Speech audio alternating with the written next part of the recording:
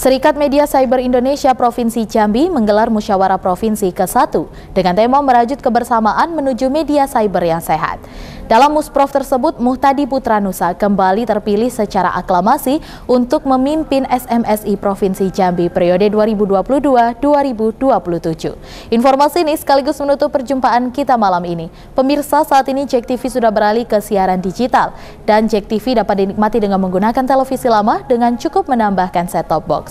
Berita Jack TV juga dapat Anda akses melalui kanal YouTube resmi Jack TV. Akhir kata, saya Yurita Melani pamit undur diri. Selamat malam, selamat beristirahat istirahat Cek TV Inspirasi kita. Musprof SMSI ke-1 tersebut resmi dibuka Selasa 6 September 2022 bertempat di Golden Harvest Hotel. Musyawarah Provinsi Jambi ke-1 Serikat Media Cyber Indonesia Provinsi Jambi bertema merajut kebersamaan menuju media cyber yang sehat resmi dibuka oleh Heri Firmansyah selaku pengurus pusat ketua bidang keorganisasian dan pendataan yang mewakili Ketua Umum SMSI Firdaus. Dalam musprov tersebut, Muhtadi Putra Nusa kembali terpilih sebagai nahkoda SMSI Provinsi Jambi periode 2022-2027.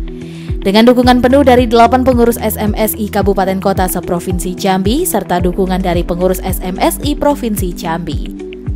Muhtadi Putra Nusa mengucapkan terima kasih atas dukungan penuh seluruh pengurus SMSI Kabupaten Kota kepada dirinya untuk kembali memimpin organisasi yang masih terbilang muda ini. Dengan harapan SMSI bukan sekedar nama, namun harus berperan penting bagi dunia pers secara umum. Dirinya juga berharap SMSI ini juga harus digaungkan hingga ke daerah-daerah, serta antara media dan organisasi saling membesarkan. Teman-teman para ketua SB Kabupaten Kota yang telah mempercayai saya untuk memimpin SB lima tahun ke depan. Insya Allah dengan ikhlas dan tulus saya akan pegang amanah itu untuk membesarkan SB Jambi ke depan dan kita juga melakukan pembinaan-pembinaan agar uh, media yang tergabung dalam organisasi sesuai dengan tema kita merajut kebersamaan untuk menuju uh, yang sehat.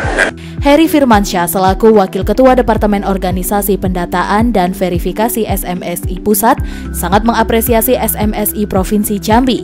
Dirinya berharap ketua serta pengurus SMSI Jambi yang terpilih dapat memajukan SMSI sebagai wadah bagi media di Provinsi Jambi dalam meningkatkan kualitas dan berperan dalam dunia pers. Kita sangat mengapresiasi SMSI Provinsi Jambi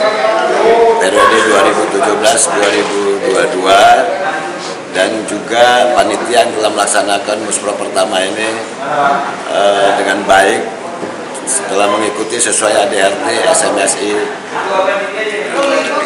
dan tidak ada konflik sehingga dapat terpilih secara aklamasi Bung Mutadi Bung Mutadi Putra Sondo melanjutkan kepemimpinan SMSI Provinsi Jambi. Iqbal, Cek TV, melaporkan.